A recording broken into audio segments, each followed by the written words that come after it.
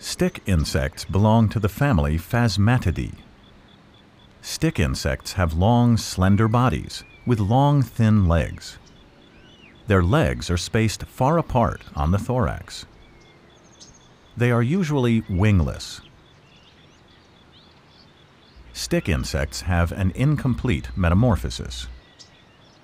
They are usually green or brown, allowing them to blend in with trees, leaves, and twigs.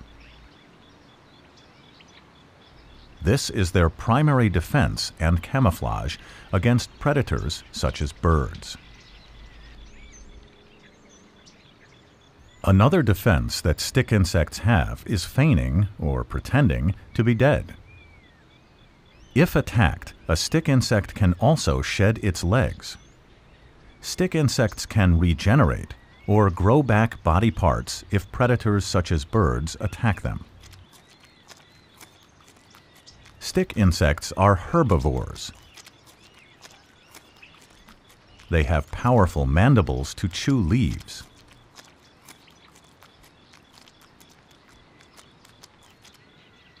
Stick insects have claws and suction pads on their feet to hold on to vegetation. They are nocturnal animals, meaning they are mostly active and feed at night. Male stick insects are usually smaller than female stick insects.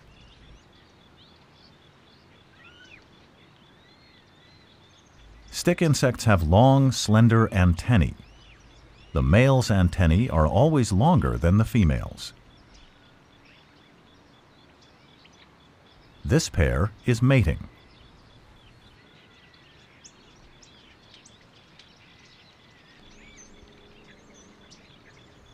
Female stick insects can lay up to 1,000 eggs.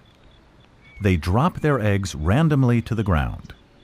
The eggs look like tiny seeds and may stay on the ground for up to three years before hatching. Stick insect eggs have a hard, tough shell and a knob called a capitulum. The hatching stick insect pushes the capitulum off to emerge from its egg. Stick insect nymphs look like small adults. The nymphs crawl back up into the plants and trees after they hatch.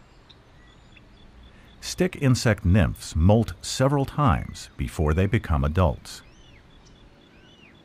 It usually takes a few months for the nymphs to mature into adults.